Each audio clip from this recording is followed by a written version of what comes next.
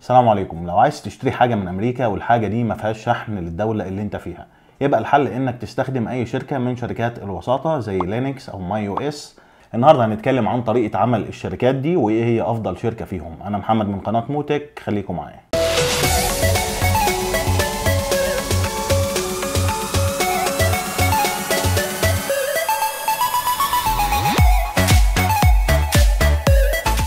لو في منتج عايز تشتريه والمنتج ده مش متاح في بلدك ومتاح في المواقع الأمريكية بس زي أمازون مثلا وأمازون عليها بعض المنتجات اللي فيها اختيار الشحن لبعض الدول العربية لكن أغلب المنتجات على أمازون ما فيهاش الاختيار ده. فهنا بيجي دور شركات الوسيطة واللي من خلالها تقدر تشتري أي حاجة من أي موقع أمريكي مش بس أمازون. تقدر تشتري من eBay من Walmart Target Best Buy Etsy Home Depot وغيرهم كتير من المواقع. كمان ممكن تشتري من الشركات المباشرة زي جوجل أبل مايكروسوفت وكل شركات الملابس. وهحاول أجمع أغلب المواقع دي وأسيبهم في خانة وصف الفيديو. الشركات الوسيطة نوعين هنقسمهم كده حسب الطريقة اللي بيشتغلوا بيها. أول طريقة المواقع اللي بتديك عنوان أمريكي تشتري الحاجة وتشحنها عليه ولما توصلهم هيحددوا لك قيمة الشحن ونسبتهم وبعد لما تدفع يشحنوا لك الحاجة لغاية البلد اللي انت فيها. من أشهر المواقع اللي بتشتغل بالطريقة دي موقع MyUS وهو موقع معروف ومضمون. وده كان أول موقع اتعامل معاه للشراء بالطريقة دي. كانت في 2015 تقريبا اشتريت تليفون OnePlus One أول ما نزل وما كانش متاح طبعا للشراء مباشرة من الموقع بتاعهم. فكانت دي الطريقة الوحيدة إن أنا أشتريه. عيوب MyUS إنه الاشتراك بتاعهم مش مجاني. هو في الأول بيديك شهر مجانا وتقدر تطلب أي حاجة في خلال الشهر ده من غير رسوم اشتراك. بعد كده لو قررت إنك تكمل التعامل معاهم بعد الشهر المجاني لازم تدفع رسوم اشتراك شهري 7 دولار أو سنوي 60 دولار. لما بتسجل حساب جديد معاهم بيديك عنوان في أمريكا خاص بيك. العنوان ده بيبقى كامل في الولاية المدينة الشارع المبنى كمان صندوق بريد ورقم تليفون. وبيبقى بنفس الترتيب اللي هيطلب منك في أي موقع هتشتري منه. هتدخل على الموقع اللي انت عايز تشتري منه الحاجة اللي انت عايزها وهتدفع ثمن الحاجة وثمن الشحن داخل أمريكا. ده لو الشحن مش مجاني. لكن غالبا بيبقى الشحن مجاني أو برسوم قليلة جدا داخل أمريكا. المهم لما ال order بتاعك بيوصلهم هيبعتوا لك إيميل ومعاه الصور بتاعة المنتج اللي انت شاريه وهيحددوا لك المبلغ المفروض تدفعه لهم. المبلغ ده بيبقى عبارة عن عمولتهم ومصاريف الشحن لغاية الدولة اللي انت فيها. خلي بالك إن في كتير من المواقع اللي بتشتغل بالطريقة دي بيعملوا حركة مش حلوة. لما بيوصلهم الشحنة بتاعتك غالبا المنتج بتاعك بيبقى داخل كرتونة أو box صغير على قد المنتج اللي أنت شاريه. هم هيعملوا إيه طبعا؟ هيشيلوا المنتج بتاعك من جوه ال box ده وهيحطوه في box تاني أو كرتونة تانية بتبقى مكتوب عليها اسم الشركة بتاعتهم زي MyUS مثلا. بس ال box ده بيبقى أكبر شوية وبيحسب لك مصاريف الشحن بناء على أبعاد ال box ده. وده طبعا عشان تدفع أنت أكتر وهم يستفيدوا أكتر. طبعا مش كل الشركات بتعمل كده لكن في بعضهم بيعمل الحركة دي فخلي بالك. نروح للطريقة تانية واللي بيشتغل بيها عدة مواقع زي Lynks مثلا اللي هتكلم عنه النهارده. هو من أفضل الشركات وأرخصهم.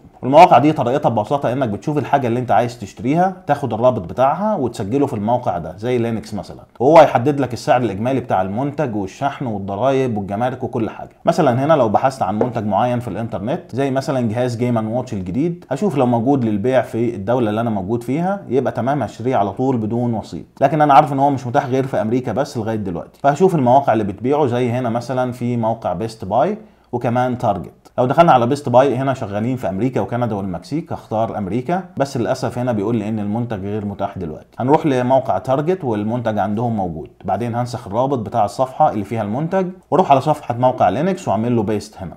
وهنا هيطلب إني أختار شوية حاجات. أولها إيه هو المنتج الفئة بتاعته ملابس أو أجهزة إلكترونية ولا إيه بالظبط. هنا هختار إلكترونيات. بعد كده تختار النوع بتاعها بالظبط. هنا مثلا اختار gaming console هيسأل على اللون لو المنتج ليه أكتر من لون والمقاس لو ليه مقاسات مختلفة. لكن هنا طبعا هو منتج واحد ملوش لا ألوان ولا مقاسات مختلفة. فهسيب الخانات دي زي ما هي وبعدين أضغط على التالي. اللي بعده هيطلب مني إن أنا أحدد الوزن بتاع المنتج. لو أنت مش عارفه بالظبط اكتب أي حاجة أو سيبه زي ما هو. وبعد كده دي النقطة اللي ممكن تفرق معاك في السعر في الآخر. لما بيوصل لهم المنتج بيعيدوا وزنه تاني ويشوفوا لو في فرق سعر بس غالبا ما بيبقاش فرق كبير. وبعدين تسجل سعر المنتج بالظبط اللي أنت تشتريه بالدولار والكمية أنا هنا هكتب سعر المنتج 49 دولار و99 سنت والكمية قطعة واحدة بس. وهنا هيحسب لي التكلفة الإجمالية كام. هنا ثمن المنتج وقيمه الشحن والمصاريف الأعداد بتاعته ولو في هنا ضريبة أو جمارك. هنا في السعودية في ضريبة قيمة مضافة بس لكن ما فيش جمارك لأن الحاجة دي أقل من 500 دولار. وتحت خالص هنا جايب لي الإجمالي وده كل الفلوس اللي أنا هدفعها باستثناء زي ما قلت لو في فرق في الوزن. طب خلينا نشوف نفس المنتج ده لو أنت هتشتريه وأنت في مصر. خلينا نسجل الأول حساب جديد أحسن من لوج ان اختار تسجيل حساب جديد.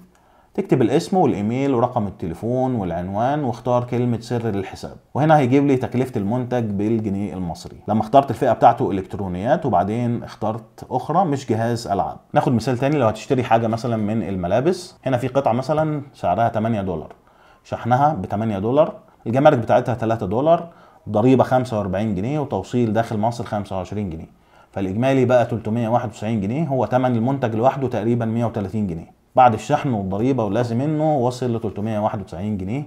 ودي طبعا مشكلة الجمارك والضرايب في مصر ملهاش دعوة بالموقع ده. ميزة الموقع ده إنك بتعرف إجمالي القيمة اللي أنت المفروض هتدفعها إيه من البداية من قبل ما تشتري.